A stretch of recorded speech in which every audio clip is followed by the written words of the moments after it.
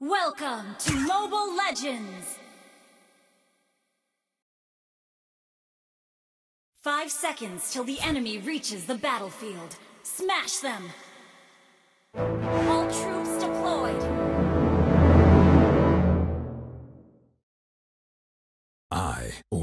demonstrate my true strength. Magandang gabi po ah, sa lahat ng mga Pilipino ngayon, sa lahat ng mga Pilipinong nanonood po sa amin ngayon. Kami po ay nagpapasalamat dahil binigyan niyo oras For a marinig ang, ang mga damdamin. Ito po ay walang nag-utos sa amin. Kami po mga artista, tulong-tulong, nagbuklod-buklod kasi gusto namin mailabas yung nararamdaman been Kung ako po ang slain! tatanungin, hindi ko mapaliwanag at hindi ko rin po alam kung paano ako has Dahil, ah, sobrang galit ko na nararamdaman ko. Hindi po dahil sa nawalan lang kami ng trabaho. Hindi ganun trabaho yun. Kung ako tatanungin, matagal ko nang pinaghandaan po yan. Kasi po, alam ko, ang pag-aartista ay hindi pang habang buhay. Maaari ngayon, gusto ka, sikat ka, pero wala lahat yan, wala pong kasiguraduhan. Kaya lahat mo yung pinaghandaan ko. Ngayon pong may pinagdadaanan ng buong mundo dahil sa COVID-19, alam niyo po sabi ko sa sarili ko, Me? It's hindi ko akalain na mapaghahandaan ko ang sitwasyon. Na ang buong pamilya ko, na pagsama-sama ko. only the victor lang po will dati be remembered. Ko, hindi ko, ano, basta pangarap ko lang, uh, makapagpundar ko para pamilya, para mabuo ko. Kasi bata pa lang po ako, wala po kami. Hanggang dumating na po yung pagkakataon, nabigyan ako ng oportunidad.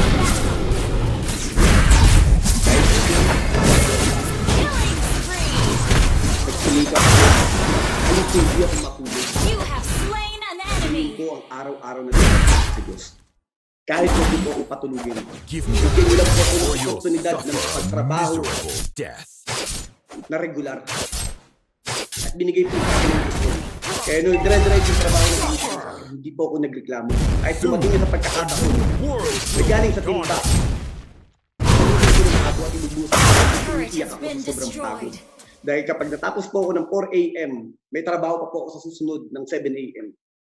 Halos ligo lang po ang pahinga ko. Kaya may, umabot na ako sa pagkataon na naliligo ko ko. future. Rip. At dahil ally lahat po yung sinuportahan ng! ABS-CBN. Wala po akong talento. or you'll ko, suffer ang a miserable death. ko.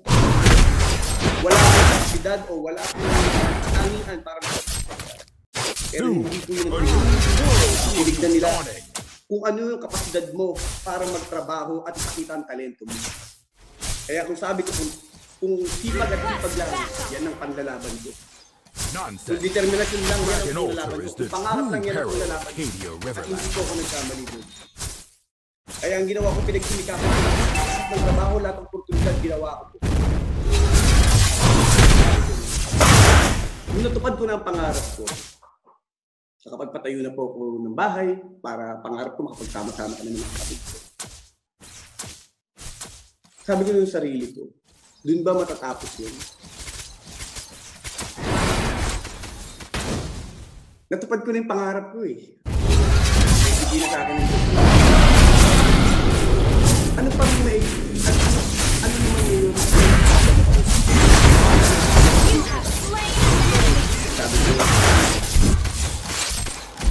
Ang turo sa akin ng Diyos, dapat marunong kang utang na loob. Alam ko po, ano man ang narating ko sa buhay ko, ano man meron ako ngayon, yun po ay utang na loob ko sa lahat ng mga taong sumuporta at nanood sa amin. What doesn't Sa lahat po ng mga taong humahanga sa amin.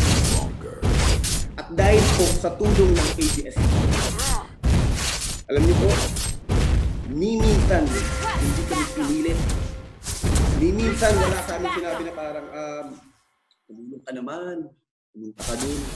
Wala sa amin sinabi. Ang lagi lang pinapaalala po sa amin ng mga boss ko yun.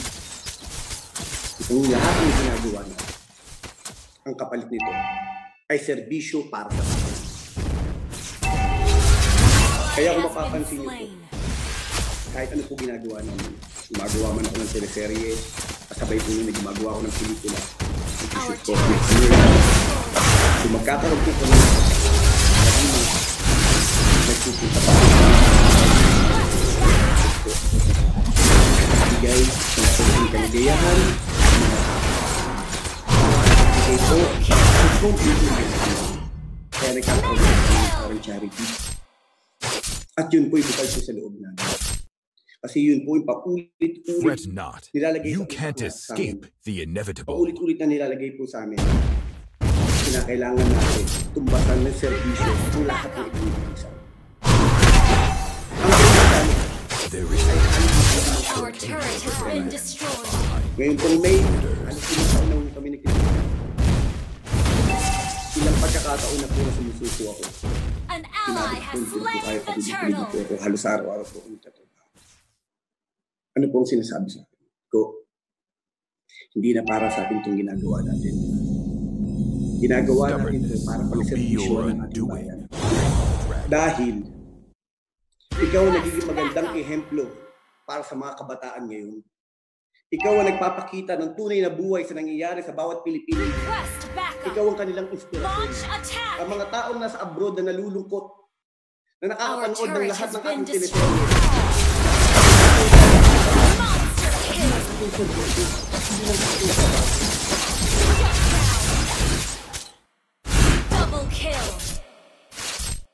Kung kumpanya po namin, sa pamantayan ko po sa aking buhay, kung ang kumpanya po namin pinagdaan at may inaping tao, alam niyo po, What a pretty word to fool Push the weakling. hindi ko lulununin kung ano man ang magagawa sa akin.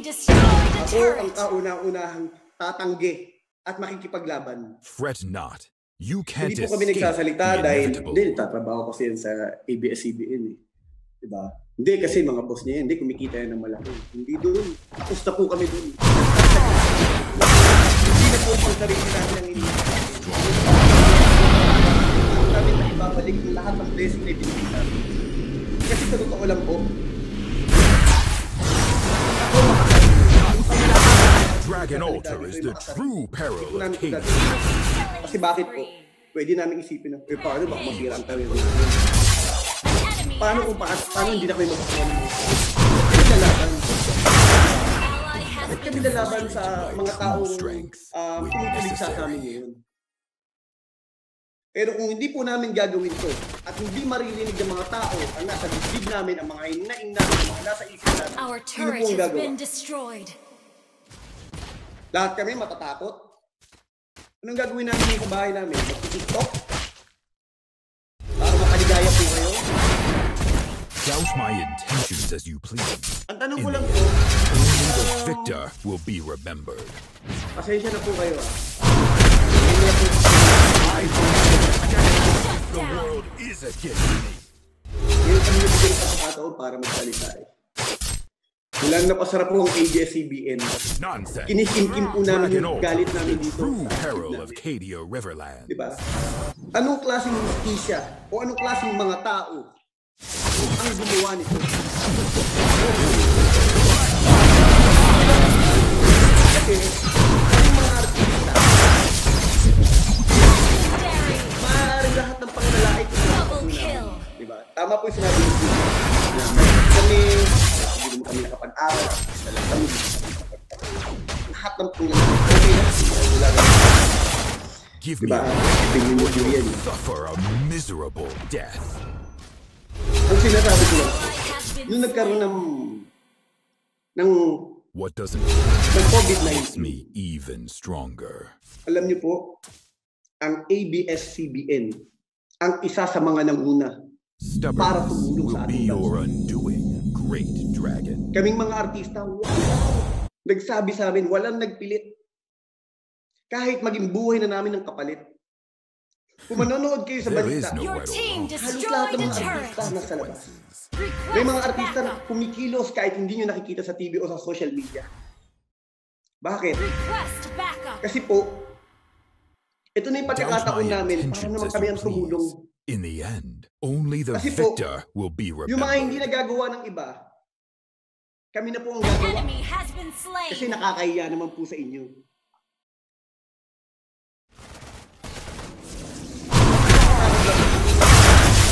Sabi ko yung sarili ko yung sinarayin ko. Legendary. Ano ba ang sarili ko? Yung nangyari. Ano ba Ano bang nagawa ng kanino sa kanya? Sino tinatanong lang? Legendary. An enemy has been slain. Hindi hindi ko papakukin. Kasi alam ko. Hindi alam ko.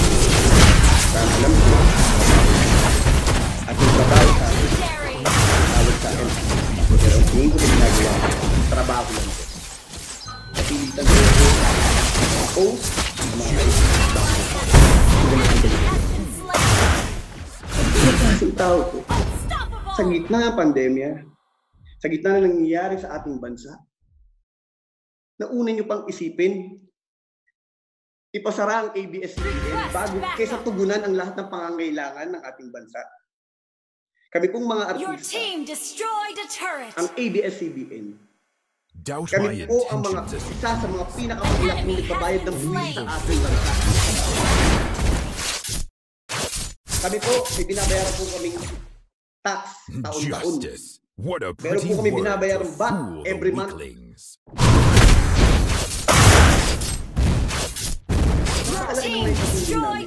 Bukod sa binabayad namin tax. May serbisyo kami binibigay. Pupunta kami sa ibang bansa para kamustahin ang lahat ng mga OFW. Bakit dumating ang pagkakataon na tanggalin? Na sa panahon ngayon, ang ABS-CBN at ang mga artista ay unang at isa sa mga tumutulong sa mga tao ngayon. I only demonstrate Ano pong malaking problema dun? strength when necessary. ngayon, Ally has tatanungin ko kayo. Sa lahat ng mga basher, ng mga fans ko, kamusta po kayo? Sa lahat ng mga trolls dyan, kamusta po kayo? Magpapaka-jolis na po ako. Bakit po? Kasi, sabi ko nga, ang mga tao ngayon, ng mga tao ngayon hindi kayo pwedeng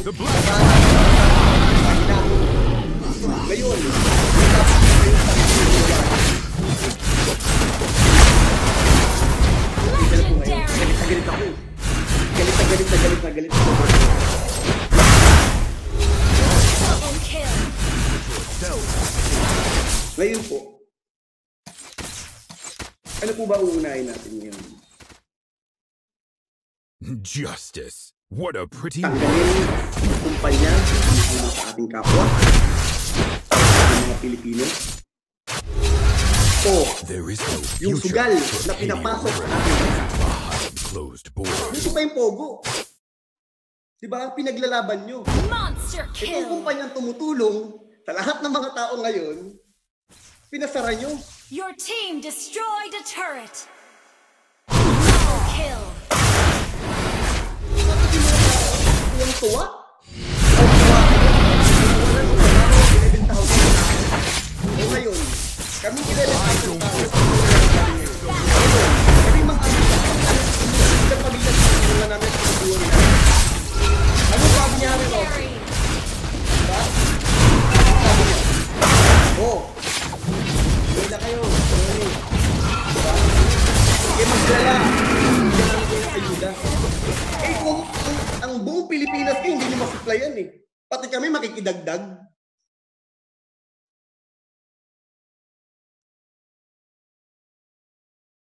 Gagawin namin ngayon?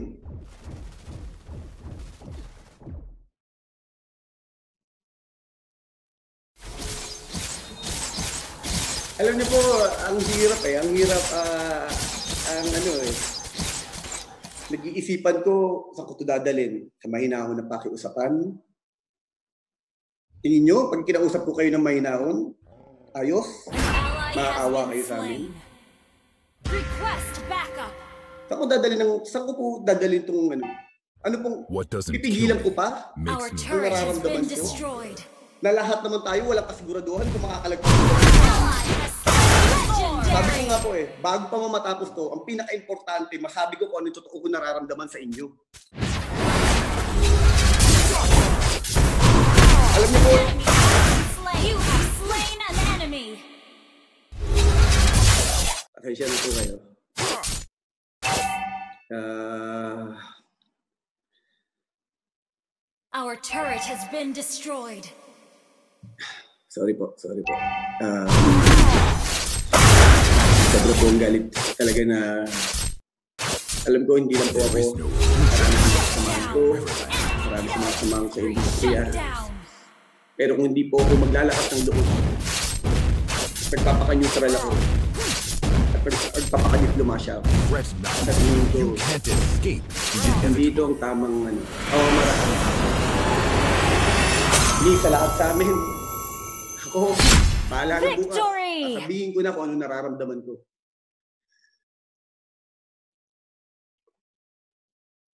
Ako po si Coco Martin at maraming salamat po sa inyo.